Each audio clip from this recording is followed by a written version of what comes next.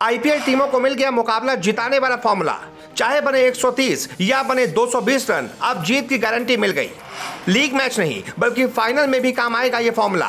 बस टीमों को आईपीएल में खेलने होंगे पूरे के पूरे 20 ओवर। जी हाँ ये बात सुनकर आपको अटपटा ज़रूर लगेगा कि कैसे सिर्फ़ टीम को जीत का फॉर्मूला मिल गया है। ये जानने की जिज्ञासा आपके मन में बढ़ गई होगी। तो इस फॉर्मूले की पहली इक्वेशन आपको बताते हैं। आईपीएल में टीमों को लगता है जीत का मंत्र मिल गया है, क्योंकि अक्सर कहा जाता है कि जीत का कोई मंत्र नहीं होता, बल्कि जो टीम अच्छा खेलती है, जीत उसे मिलती है। ये बात काफ़ी हद तक सही हो सकती है, लेकिन टीमों को जीत के ट्रिक की भी तलाश रहती है कि कैसे जीता जाए, क्या किया जाए, कौन सा हथकंडा अपनाया जाए, हारा मैच जीता जाए। आईपीएल में आधे से ज़्यादा सफ़र अब पूरा हो चुका है और प्लेऑफ की रेस रोमांचक मोड़ पर पहुँच चुकी है। इस बीच पिछले करीब नौ मैचों में ऐसा हुआ है, जिसे देखकर कहा जा सकता है कि टीमों को जीत की अहम चाबी मिल गई। क्योंकि मामला एक दो मैच का होता तो कोई बात नहीं, लेकिन नौ मैचों से यही सिलसिला चल रहा है। और अगर ये आगे भी आने वाले मैचों में जारी रहा तो फिर सभी टीमें इसी राह पर चलने की तैयारी कर लेंगी। चलिए, इस तीन मिनट के वीडियो में आपको समझाने की कोशिश करते हैं कि आखिरकार मामला क्या है और कौन सा जीत का फॉर्मूला टीम को मिल गया है। दरअसल क्रिकेट में माना जाता है कि जो टीम टॉस जीतती है, उसकी जीत की संभावना ज़्यादा रहती है खास तौर पर टी क्रिकेट में, जो शाम के वक्त खेला जाता है। टॉस जीतने वाले कप्तान के पास मौका होता है की वो पिच और मौसम के हिसाब से फैसला ले की उन्हें पहले क्या करना है। टॉस की बात अलग रही, लेकिन पिछले नौ मैचों से लगातार वही टीम आईपीएल के मैच जीत रही है, जो पहले बल्लेबाजी कर रही है। यानी इन मैचों में कोई भी टीम दिए गए टारगेट का पीछा नहीं कर पा रही और हार रही है। यह सिलसिला शुरू हुआ था बाईस अप्रैल से और अभी तक आईपीएल में ये जारी है।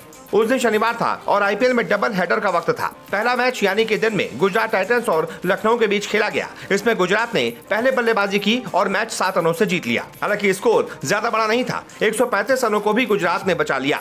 इस दिन दूसरा मैच पंजाब किंग्स और मुंबई इंडियंस के बीच हुआ। इसमें पंजाब ने पहले बल्लेबाजी की 214 रन बनाए, मुंबई ने 201 रन बना दिए, लेकिन मैच पंजाब ने रनों से जीत लिया। तेईस अप्रैल को भी दो मैच हुए। दिन का मुकाबला आरसीबी और राजस्थान रॉयल्स के बीच हुआ। आरसीबी ने पहले बल्लेबाजी की और सात रनों से मैच जीत लिया।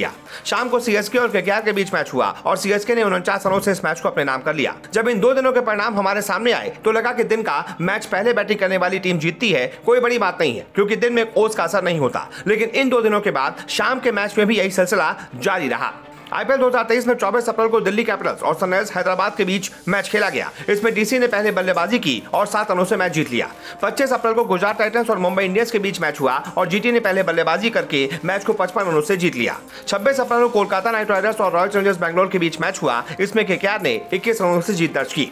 27 अप्रैल को राजस्थान रॉयल्स और चेन्नई सुपर किंग्स के बीच मैच हुआ। राजस्थान ने पहले बल्लेबाजी की और बत्तीस रनों से मैच जीत लिया। यहाँ आप देख रहे हैं कि मैच रनों से जीते जा रहे हैं, यानी पहले बल्लेबाजी करने वाली टीम जीत रही है।